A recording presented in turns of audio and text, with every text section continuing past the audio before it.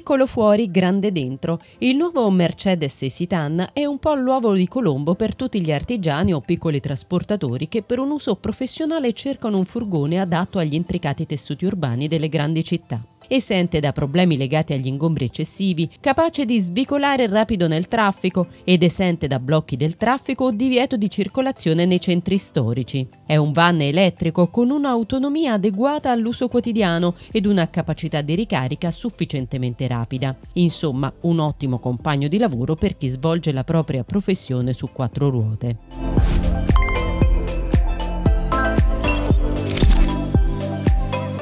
L'Esitan è una copia identica dell'equivalente van equipaggiato con motorizzazioni termiche diesel o benzina, ad eccezione del suo powertrain totalmente elettrico. Condivide lo stesso telaio, motore e batterie del rivale Renault Kangoo E-Tech e sebbene sia il furgone elettrico più piccolo della gamma Mercedes, non è un furgone piccolo, perché la capacità di carico è davvero notevole. La generazione precedente del Citan era di dimensioni ridotte rispetto ai suoi concorrenti, ma questo nuovo modello è notevolmente più grande. Non è solo un diretto concorrente di Renault, ma anche di una serie di piccoli furgoni Stellantis, tra cui il Citroën e Berlingot, il Fiat e Doblò e il Peugeot e Partner.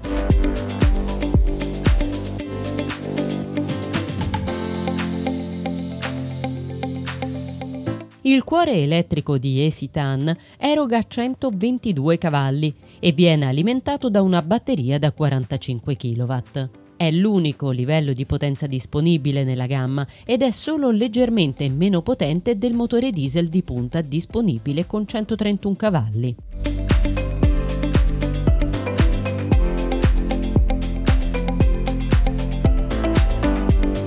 Su strada risulta estremamente maneggevole, silenzioso e confortevole da guidare. Versatile e facile da caricare grazie al doppio portellone posteriore e alla comoda porta scorrevole laterale.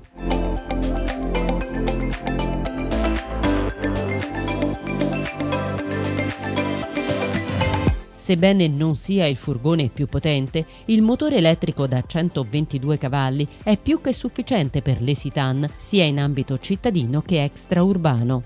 In manovra offre una buona visibilità complessiva e l'abitacolo è sufficientemente confortevole anche per lunghi tragitti.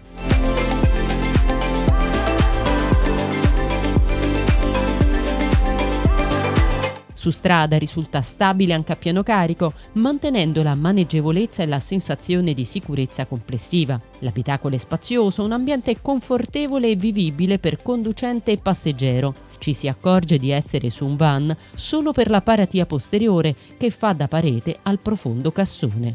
Insomma, benvenuti nel futuro dei furgoni, elettrici, vivibili e silenziosamente ecocompatibili con le nostre città.